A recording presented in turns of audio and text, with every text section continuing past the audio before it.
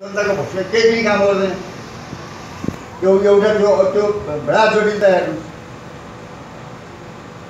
भन्दाखेरि थुप्रैले के ठान्ने भन्नुहुन्छ भने कम्युनिस्ट किनै हुन् त्यस कारणले कम्युनिस्ट भोट मार्छ कम्युनिस्टका विरुद्ध लाग्नु पऱ्यो अब त्यस्तो उनको सन्देश जाने भएर हामीलाई असाध्यै हैरान परेसान भइरहेको छ जुन कम्युनिस्ट होइनन् हुनेले कम्युनिस्ट पनि लागेको छ यो एउटा ठुलो भ्रम बनाएको विषय हो र यसलाई के पनि नलिनुपर्छ आफै आफै नाङ्गिरहेको छ। आफै आफै नाङ्गिरहेको छ। त्यो हामीले नाङ्गिराख्या हामीले देखिरहेका छौँ। र हिजो त के छ भने साँच्चै ठुलो कुर्ती लगाउँथे। होइन ओली भन्दाखेरि त मानव दुनियाँमा मभन्दा अर्को कहीँ कहीँ चल्दै भनेर लगाउँथे। अहिले त के हो भने ओलीका विरुद्ध पुरा मिडिया खनिराखेका छ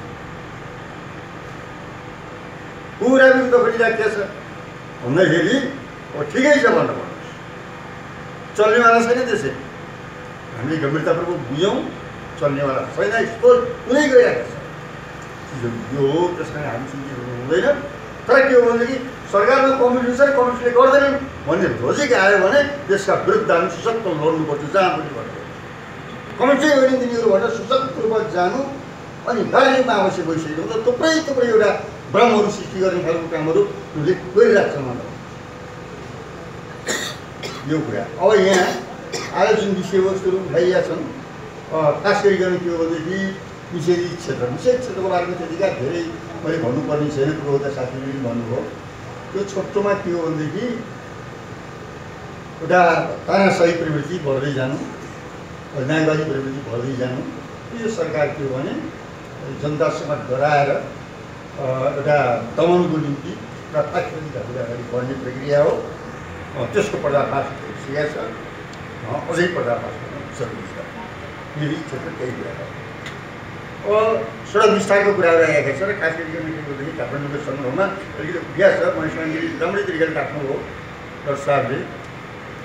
यो विस्तारका कुराहरू धेरै धेरै मिलाएको छ। अब यो कुरा पनि के हो भनेर भन्नुहुन्छ भने वास्तवमा यो समस्याको हल सङ्घीयताको ठिक कार्यान्वयन गर्ने हो भने यो समस्याको हल आफै मिल्यो अब ठुल्ठुला अस्पताल काठमाडौँमा राख्ने ठुल्ठुला कलेजहरू यहीँ हुने होइन? ठुल्ठुला चाहिँ सरकारी चाहिँ कार्यालयहरू यहीँ हुने अझ चाहिँ संहिता लागू गर्ने भइसकेपछि पनि अधिकार चाहिँ तल श्रम भन्नुहोस् राज्यलाई अथवा के राज्य भन्ने आउँछ प्रदेशहरूलाई दिने खाने रूपमा दिने भन्दा पनि अझै सम्पूर्ण अधिकार यहीँ राख्ने हो भने के सिद्धिया चाहिँ यही यही हुँदै गइरहेको छ हेर्नुहोस् नत्र अधिकारको साँचो अर्थमा प्रयोग एउटा अत्याचार गरेर जाने हो भने संहिताको कार्यान्वयन गर्ने हो भने यो प्रदेशहरू प्रदेशहरूमा फैलिन्छ स्थानीय रूपमा फैलिन्छ काठमाडौँ काम पनि सबै विभिन्न ठाउँमा फैलिन्छ र यहाँ के हो भनेदेखि काठमाडौँ कुरो बेहाल हुन्छ भने चक्रपात गर्ने भनेर भनियो चक्रपात बनाइसकेपछि पनि बनाइसकेपछि त थुप्रो थुप्रो हेर्नुहोस् अति माथि लेख लेखसम्म पनि अब आबादी हुन्छ मान्छे बस्छ यहाँ थाहै सक्नेवाला छैन थाहै सक्नेवाला छैन चक्रपथ बनाएर मात्रै बिगार्नुहुन्छ भन्ने कुरा भएन बनाउन सकिन्छ चक्रपथ चक्रपथ बनाउन ठुलो कुरा होइन तर चक्रपथ बनाएपछि हुने के हो भनेदेखि पुरै एउटा जनगणको बढेर जाने यसले चाहिँ एउटा गलत चिजहरू देखाइरहेको त्यस कारण काठमाडौँ जताबाट कुरा गरे पनि यसै पनि उसै पनि होइन यो यो जुन एउटा जनघनत्व छैन सक्ने अवस्था छैन। हामीले यसको वास्तवमा विरोध गर्नुपर्छ अब रह्यो गाईको कुरा। गाई खाने र गाईका कुराहरू साथीले अब करिब करिब गाई खानेको बारेमा गाईको बारेमा यहाँ विवाद होला जस्तो लागेन। हामी यो सबै कुरा गर्दाखेरि। बाहुनको कुरा गर्ने हो नि? बाहुन मुसलमानले राख्नु सुरुमा बेदमा गाई खानेको इच्छा भन्नु। सबैले गाई खाने हो बाहुन छेत्री भनेर त्यस्तो अलि पछि भए हो त्यहाँ पनि बाहुन छेत्री। हिन्दूहरूले चाहिँ हाम्रो वैदिक धर्म हो वैदिक मूल हो हिन्दूहरूको भनेर भन्ने गर्छन्। अब त्यो पनि के हो भनेदेखि त्यही बेदमा गाई खाने कुराहरू छन्। अब फेरि हिन्दूहरूले एकदम हामी त पुराना हौँ भनेर भन्छन् त्यो पनि होइन। आठौँ शताब्दीमा हो त्यो हिन्दू शब्दको जन्म भएको त्यो हिन्दू शब्दको जन्म भएको पनि सिन्धुबाट हो। सिन्धुबाट त हो हिन्दू भएको नाम राखिदिए बल्यो भने मुस्लिमहरूले राखिदिए हो। सिन्धु नदीदेखि उद्धपट्टिका चाहिँ बासिन्दाहरूलाई के भनेर बोलाइन्थ्यो भनेर भन्नुहुन्छ भनेदेखि मतलब सिन्धु के सिन्धु भन्नु भने त गदागदी सिन्धु भने हो। स शब्द हो सिन्धु तर त्यो स उच्चारण गर्दाखेरि उनीहरूले ह भयो कि? हिन्दू हो हाम्रो पनि छ कर्णाली साहित्य पश्चिमतिर सबै भने हप्पै भन्छन् साथीहरूले त्यहाँको जनताले हेर्नु। सबै भने हो त्यो सिन्धु हुँदै के हो भने हिन्दू त्यही हो भनेर नाम राखे मुसलमानले अहिले मुसलमान भन्दाखेरि पुरै गाली त्यो कुरो बुझ्नु ओर्नु घाँस घाँस अर्थ नपाइ गोविन्द गाई हेर्नु त्यस कारणले के हो भने यिनी जसले आफूलाई हिन्दू भन्छन् यिनी देशका कुरा पनि होइन देशको कुरा पनि मिल्दैन मिल्दैन किनभने सबैले गाईको मासु खाइहाल्थे होइन भन्नुहोस् त अब हामी पुराना हौँ भन्यो भने आरो सदाजी गाउँ पवित्र हौँ भनेर भन्छौँ भने नाम त मुसलमानले राखिदिए अब भनेपछि कोही त्यो हिन्दूवालाको कहीँ त्यो मिली कुरै छैन भन्नु त्यो हो अब खाने किन खाने भन्दाखेरि एउटा परिस्थितिले हुन्छ कि अब जस्तो यो साह्रै गाई खान थाले जस्तो बर्बाद हुन्छ भन्ने भयो भइसकेपछि गौतम बुद्धहरूले अनि जैन धर्ममा पनि हो भन्नुहोस् अब यो यो अलिकति हिंसा नगरौँ है भने युद्धको हिंसा नगरौँ भने होइन जस्तो लाग्छ मलाई हेर्नुहोस् यहाँ त अहिले के हो भनेदेखि जनताले शत्रु सङ्घर्ष गर्नु थाल्यो भनेपछि गौतम बुद्धले त शत्रु सङ्घर्ष नगर्ने भने कहाँ नगर्ने भनेर भनेको छ।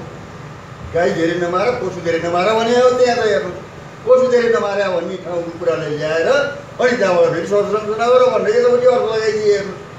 त्यो त होइन नि त। हो त्यो बेला त्यो कुरा गरेँ अब ठिकै हो। यसो म त फेरि खानै हुन्न भन्ने खालको कुरा त भएन नि त। खानु त पर्छ भनेर भन्नुहोस् गाई मात्रै हो र भने चाहिँ बेदको कुरा गर्नु नि त मान्छे पनि खाने नरवेद यज्ञ छ त्यही। होइन अश्वमेध यज्ञ छ भनेर भन्नुहोस्। होइन घुँडा काटेर खाने होइन अब तपाईँको चाहिँ गोमेर यज्ञ छ अब गाई काटेर खाने भन्दाखेरि त त्यो आदिवासी हो अब त्यसलाई भोजमास हुन् भनेर भन्ने कुरो आएन कि। ती ती चाहिँ यो ती पनि एउटा चाहिँ पुरानो पुर्खा हुन्। होइन पुरानो पुर्खा हुन्। खान्छन् अब गर्नु त्यो चलन हो त्यो चलन हो। हो त्यो चलन हो तर के भन्न पाइएन फुर्ती लगाउन पाइएन भने हाम्रा पुर्खाहरूले गाईको मासु खाँदैन्थे भनेर हिन्दूहरूले बिजेपीले भने जस्तो यहाँका नेपालका हिन्दूहरूले त्यो फुर्ती लगाउन पाइएन कुरा बुझ्नु भयो? त्यो फुर्ती लगाउन हुँदैन। कुरा त्यहाँ हो। अब कुरा के हो भनेदेखि अहिलेको संविधानको कुराहरू गर्दाखेरि त धर्मनिरपेक्षतामा आधारित छ। भन्दाखेरि हाम्रो पार्टीको भने के हो भन्छु भने गाईको पूजा गरेरले पूजा गरौँ।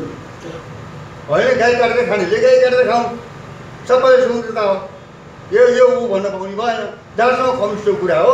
अब कम्युनिस्टले गाई खानुपर्छ हामीले खान्छौँ खाइदिन्छ गाईहरू खाने कुछ भएन। त्यो कम्युनिस्टको हिसाबले जे जे पनि मासु खान्छन् जे मेरो लागि त्यही गाए हुन्छ। खानेकुरामा केही विवाद भएन हेर्नुहोस्। तर जनता कुरा गर्दाखेरि जनताले फैसला गर्ने यो के के खान मन लाग्छ त्यो खाने। के के खान मन लाग्दैन त्यो त नखाने पूजा गर्न मन लाग्यो। पूजा गरे पनि भयो। होइन? यी चाहिँ के हो भनेदेखि अलग खालका कुराहरू भयो त्यस कारण यो बारेमा क्लियर छ। र अहिले मूल कुरा के हो हुन्छ भने धर्मनिरपेक्ष संविधान भइसकेको अवस्थामा? अब यो फेरि के हो भनेदेखि सनातन भनेर अलिकति छोड्नु त राखिहाल्यो भन्नुहोस् त्यहाँ।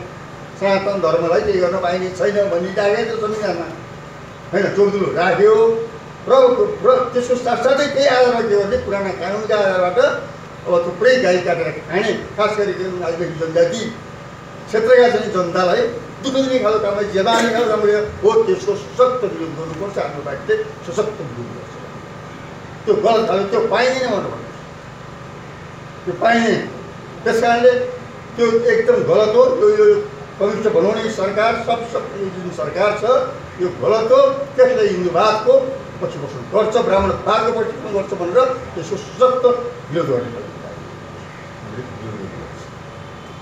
यही हो यही हो र मूल कुरा के भन्नुहुन्छ भने हामीले अब यहाँ हेर्नुहोस् कुराहरू त आए आदिवासी शब्दका कुराहरू आए जनजाति शब्दका कुराहरू आए अनि डाक्टरका कुराहरू आए यी कुराहरू धेरै लामा बहसका कुरा हेर्नुहोस् त्यो आफ्नो ठाउँमा ठिकै छ र हाम्रो पार्टीले ठिकै ढङ्गले चाहिँ यी कुराहरूलाई लिँदै आएको छ मूल कुरा के हो भने मुक्तिका कुरा होइन जातीय मुक्तिको कुरा वर्गीय मुक्तिको कुरा महिना दलित सबै सबैका मुक्तिका कुरा हुन् मुक्ति कसरी हुनसक्छ भन्ने खालको जाँदाखेरि के हुन्छ भने सबै पिँढीहरू आजको जमानामा आजको जमानामा पुरा सभारा वर्गलाई केन्द्रबिन्दु बनाएर सभारा वर्गको नेतृत्वमा सबैलाई चाहिँ जातीय वर्गीय क्षेत्रीय लैङ्गिक सबलाई एकताबद्ध गरेर हामी जान सकिन्छ र जान पर्छ भन्ने त्यही हो र हामीले त्यही कुराहरूमा जोड दिन्छौँ र यहाँ कतिपय कुराहरू के आउँछ भनेर भन्नुहुन्छ भनेपछि यो के अरे यो आदिवासी जनजातिका कुराहरू गर्ने थुप्रै हामी मात्रै छैनौँ नि त आदिवासी जनजातिमा त थुप्रै अरू सङ्गठन पनि त छन् अरूका दृष्टिकोण पनि त छन् अब होइन भन्नुहोस् त हाम्रो मात्रै दृष्टिकोण छ यहाँ आदिवासी जनजातिमा भन्ने खालको त आएन नि त थुप्रै थुप्रैहरू छ थुप्रै थुप्रै सङ्गठनले के गर्छ भनेर भन्नुहुन्छ भनेपछि अब विरोध चाहिँ गर्न पऱ्यो भने साम्राज्यवादको पटक्कै विरोध नगर्नु साम्राज्यवादको विरोधै नगर्ने। साम्राज्यवादको विरोध नगरेर कसरी हुन्छ?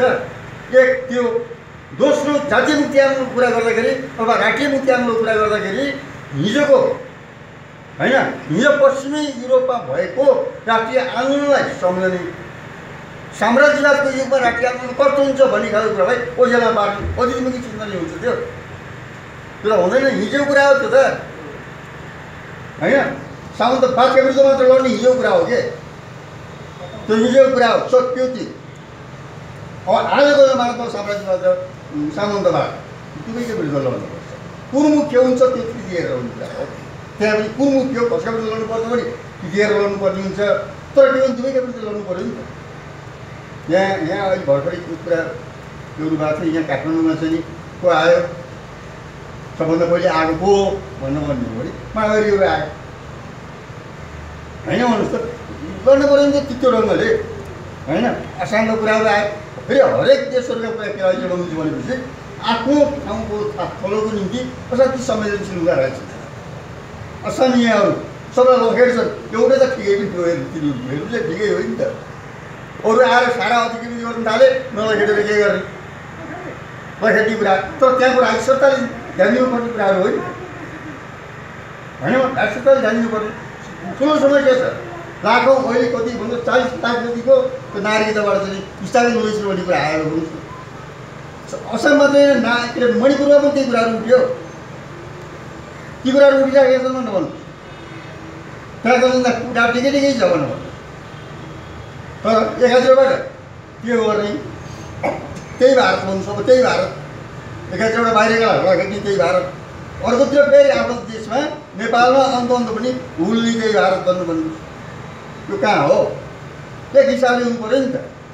हो यी कुराहरूमाथि ध्यान दिँदै हामीले के हो भनेदेखि आफ्नो सत्वको बारेमा पनि ध्यान दिनुपर्ने हुन्छ भन्नुभयो र आजको बहसमा एउटा कुरा उठ्नु पर्थ्यो हेर्नुहोस् त्यो उठेन। त्यो के हो भने पहिचानको प्रश्न। थोरै उठ्यो? पहिचानको प्रश्न अहिले गर्ने के हो? भन्ने बारेमा गर्ने बारेमा के हो भन्नुहुन्छ भने जस्तो गण्डक प्रदेशमा कुरा उठ्यो त्यसका विरुद्ध उठ्यो अन्त अन्त उठिराखेको छ।